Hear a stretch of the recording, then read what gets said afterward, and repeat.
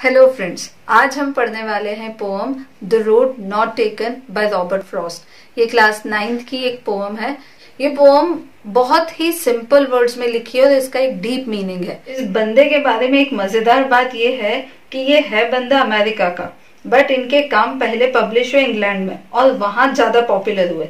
वहाँ पॉपुलर होने के बाद लोगों को अमेरिका में पता चला कि यार ये तो अपने खेत की चिड़िया पलंडे वहाँ जाके दे दिए। तब फिर अमेरिका के लोगों ने इनकी पोम को और इनके वर्क्स को पढ़ना चालू किया।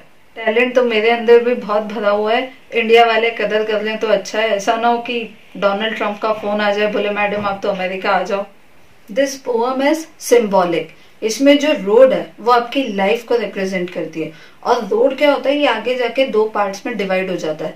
तो ऐसे ही हमारी लाइफ में ये जो दो पार्ट्स हैं, ये दो ऑप्शन को सिंबलाइज करते हैं। अब उन दोनों रोड्स में से आपको कोई एक चूज़ करना है। तो लाइफ में हम कई बार ये डिसाइड नहीं कर पाते कि हमें इस वाले रास्ते पे जाना है या उस वाले रास्ते पे जाना है। फॉर एग्ज़ाम्पल दोस्त की गर्लफ्रेंड आपको पसंद आ गई। उस गर्लफ्रेंड को भी आप पसंद आ गए। अब आपको डिसाइड करना है वो दोस्त या दोस्त की गर्लफ्रेंड बड़ा मुश्किल डिसीज़न है but that is what life is तो चलिए हम स्टार्ट करते हैं हमारी पोअम अब ये जो पोअम है, ये चार स्टैंडाज में लिखी है और हर एक स्टैंडा में फाइव लाइन्स हैं. और इसकी जो राइमिंग स्कीम है that is A B A A B अब ये राइमिंग स्कीम कैसे डिसाइड होती है? इसको जब हम फ़र्स्ट स्टैंडा पढ़ेंगे तो आपको क्लियर हो जाएगा। So let is begin with the first stanza two roads diverged in a yellow wood and sorry I could not travel both and be one traveller long I stood and looked down as far as I could to where it bent in the undergrowth अब अगर आप first third और fourth line के last words को देखें so they rhyme like wood could and stood और अगर second और फिफ्थ लाइन के लास्ट वर्ड्स को देखें so they are both and undergrowth so that is how we decide the rhyming scheme that is A B A A B ये poet एक बार एक रास्ते से ज़्यादा होता है और ये रास्ता आगे जाके दो रास्तों में डिवाइड हो जाता है। अब ये जो रास्ता है, ये एक जंगल में से जा रहा है। अब उस जंगल में जो पेड़ है, उन पे पत्तियाँ येलो कलर की हो चुकी हैं, इसका मतलब कि फॉल का सीज़न है। अब वो जो पोएट है, वो एक रास्ते को दूर तक देखते रहता है, जब तक देखते रहता है, जब तक कि वो आगे जाके मुड़ नहीं जाता है। अब है तो वो एक ही ट्रैवलर तो रास्ता तो वो एक ही चूज़ कर सकता है। अब इसके आगे की कहानी सेकेंड स्टैंडा में।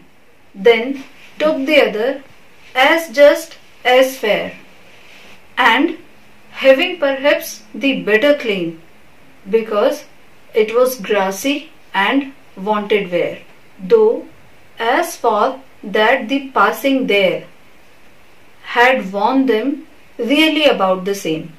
अब इसमें पोएट ने जिस रास्ते को पहले बड़ी दूर तक निहारा था उसको छोड़ के भाई दूसरे पे निकल लेता है उसको ऐसा लगता है कि जो दूसरे वाला है ना ये ज़्यादा इंटरेस्टिंग है और ज़्यादा प्रॉमिसिंग है ऐसा इसलिए क्योंकि उस रास्ते की जो घास होती है, वो उसको थोड़ी ज़्यादा ग्रीन दिखती है। हालाँकि आगे जाके उसको लग जाता है कि दोनों रास्ते लगभग सेम ही हैं।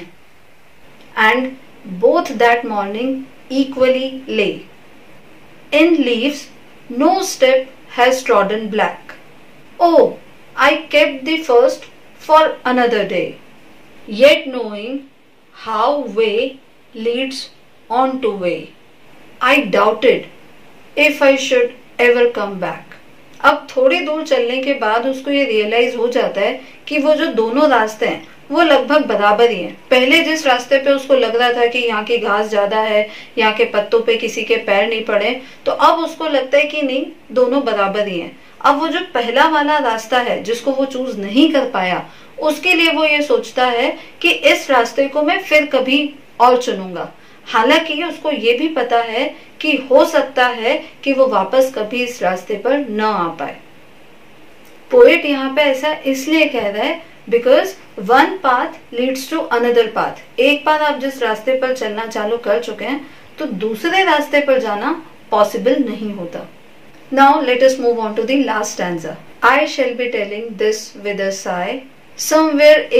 and ages hence two roads diverged in a wood and I I took the one less travelled by and that has made all the difference अब ये जो पोएट है, ये ऐसा सोच रहा होता है कि आज से बहुत सालों बाद मैं गहरी सांस लूँगा और बोलूँगा कि देखो, तुम्हारा भाई एडवेंचरस था।